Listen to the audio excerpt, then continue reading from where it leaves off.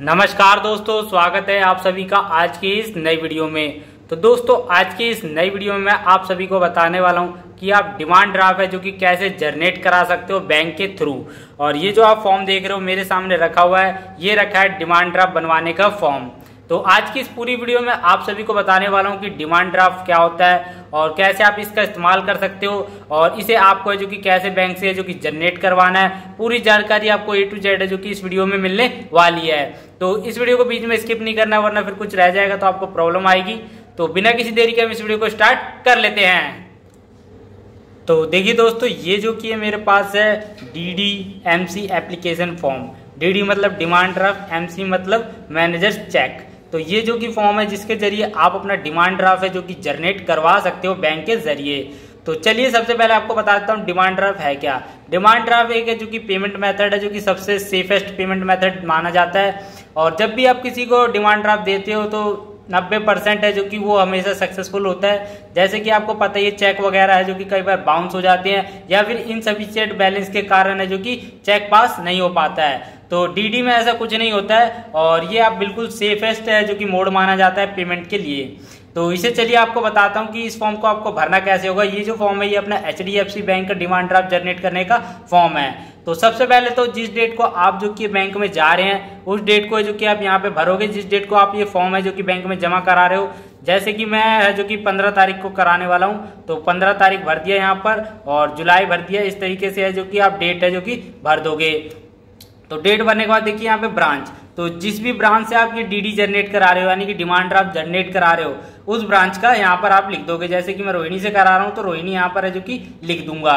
और अब आपको देखिए यहाँ पर आते हैं। तो देखिए, अगर आप जो कि है किसी और को चेक दे रहे हैं, या और जो कि है बाहर रहता है मतलब जो आपकी सिटी में नहीं रहता है, जैसे कि मैं यहाँ रोहिणी दिल्ली से जो कि इसको जनरेट कराने वाला हूँ, पर जो मैं डीडी बना रहा हूँ, वो बना रहा हूँ मैं लखनऊ की। तो लखनऊ में जानी है हमारी ये पेमेंट डी की। तो मैं जो कि यहाँ पर करूँगा डिमांड ड्राफ्ट पेबल एट तो यहाँ पर मैं इस पर टिक करूँगा और यहाँ पर है जो कि लखनऊ लिख दूँगा। तो इस तरीके से जो कि आपको भी लिखना है, जहाँ पर है जो कि आपका ये डी जाने वाला है।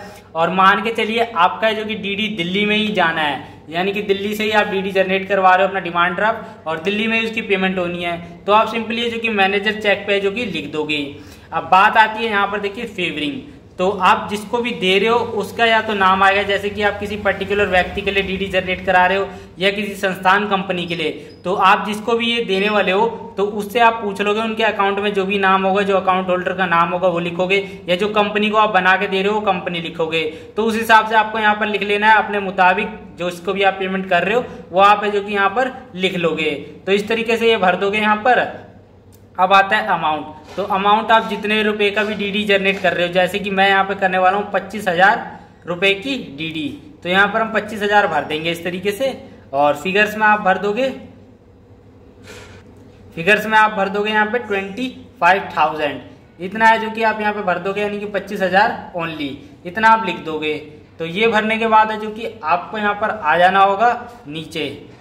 यहाँ पर देखिए लिखा हुआ है मोड ऑफ़ पेमेंट तो जो भी आप डीडी जनरेट कराते हो तो आपको बता देता हूँ पेमेंट है जो कि आपको एडवांस में बैंक वालों को देनी होती है। वो आप चाहो तो कैश से दे दो। कैश से दे रहे हो तो सिंपली कैश पे टिक करो और जब ये फॉर्म देने जाओगे तो आपको जो कि कैश साथ में लेके जाना होगा, पच्चीस हज़ार रुपये और मान के चलिए कि आप चेक से अपने अकाउंट से पैसा कटाना चाह रहे हैं तो चेक पे आप यहाँ पे टिक लगाओगे इस तरीके से और अपना है जो कि चेक का नंबर लिख दोगे और उस चेक को भी साथ में लेके जाना है जो कि आप जिससे पेमेंट करने वाले हो। तो चेक नंबर लिख दोगे और उसी नंबर का चेक आपको लेके पहुँच जाना होगा। तो यहाँ पर देख सकते हैं परचेसर्स नेम तो यहाँ पर है जो कि सिंपली आपको अपना नाम लिख देना होगा, जिस भी अकाउंट होल्डर जो भी पेमेंट कर रहा है, वो यहाँ पर है जो कि अपना नाम लिख देगा। उसके बाद यहाँ पर आप आते हो तो ये देखिए प्लीज़ डिलीवर डिमांड ड्राफ्ट तो जो भी है जो कि डिमांड ड्राफ्ट आपका जो कि कलेक्ट करेगा बैंक से, उसका नाम लिख दोगे, आप खुद कलेक्ट कर रहे हो तो अपना नाम लिख दोगे। कोई प्रॉब्लम वाली बात इसमें नहीं है। ये इतना मैटर नहीं करता है। बाकी आते हैं यहाँ पर bearer signature customer signature name तो यहाँ पे क्या करना होगा? तो यहाँ पर आप सब जगह जो कि इसमें अपना साइन मार दोगे, यहाँ पर भी आप अपना साइन कर दोगे, और यहाँ पर भी आप अपना ही साइन करोगे। बात रही यहाँ पे यहाँ पे आप अपना है जो कि नाम लिख दोगे, जो भी आपका नाम है वो आप यहाँ पे लिख दोगे। उसके बाद है जो कि आपको इसमें कुछ भी नहीं करना है। जितना करना था आपको मैंने बता दिया है। बाकी आप आप ये जो देख रहे हो, ये है बैंक यूज़ के लिए। इसमें आपको किसी प्रकार से कुछ भी यूज़ नहीं करना है। ये सारा बैंक वाले करके देंगे। बात रही यहाँ पर देखिए तो जब भी आप अपना पैसा चेक और ये फॉर्म है जो कि बैंक में जमा कराते हो तो आपको जो कि ध्यान से है जो कि याद करके अपना ये जो कि रिसिप्ट ले लेना होगा जिसपे कि बैंक वाले अपनी मोहर मार के देंगे, उस डेट की, जिस डेट को आपने जमा कराया है मोहर मार के देंगे, और ये रहेगा आपका सबूत। जब आपको है जो कि बैंक में डीडी लेने के लिए बुलाया जाएगा तो आपको ये रिसिप्ट है जो कि लेके जाना होगा, जब भी आपको आपका डिमांड ड्राफ्ट है जो कि दिया जाएगा। और डिमांड ड्राफ्ट है जो कि दिखने में एक चेक की तरह ही होता है बट वो चेक नहीं होता है। बट सेम टू सेम दिखता है और वही डिमांड ड्राफ्ट है जो कि आपको सामने वाली पार्टी को देना होता है। जिसको भी आप पेमेंट कर रहे हो, उसे आप वो डिमांड ड्राफ्ट दे लीजिए। वो अपने सिटी में है जो कि अपने बैंक में जाके उस डिमांड ड्राफ्ट से जो कि पैसा कलेक्ट कर लेगा। तो बस इतना ही आपको करना होता है डीडी जनरेट करवाने के लिए। इसे आप चाहो तो ऑनलाइन भी कर सकते हैं। ऑनलाइन का प्रोसेस थोड़ा सा अलग हो जाता है। और ये जो कि बिल्कुल सिंपल प्रोसेस है, आप एक बार बैंक जाओगे, आपका काम है जो कि हो जाएगा। तो फ्रेंड्स आशा करता हूँ जो कि आपको डिमांड ड्राफ्ट है, जो कि पता लग गया होगा कैसे आप जनरेट करा सकते हो। सिंपल सा प्रोसेस है, छोटा सा प्रोसेस है। और कोई प्रॉब्लम आती है तो आप बैंक में पता कर सकते हो। और कोई और जानकारी चाहिए हो तो हमें कमेंट करके ज़रूर बताएँ। आज की इस वीडियो में यही जानकारी थी। मिलेंगे एक नई वीडियो में एक नए टॉपिक के साथ। जब तक के लिए जय हिंद, वंदे मातरम।